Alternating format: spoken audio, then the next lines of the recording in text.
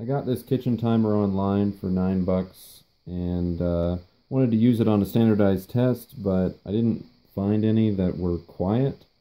Um, as you can hear, this one, even just doing the count up timer without an alarm is, is quite noisy. So I just pulled all the screws out. Uh, you open it up and you can see I got some battery connections and then I got the, the buzzer or speaker connection back there.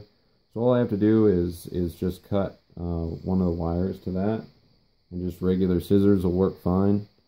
Uh, I'm going to cut it with a little space away. If some reason I wanted to hook it back up in the future, it'd be easy to just twist together or solder. So I'll just cut that.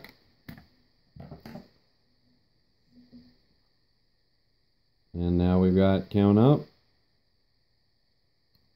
stop, clear, with no noise.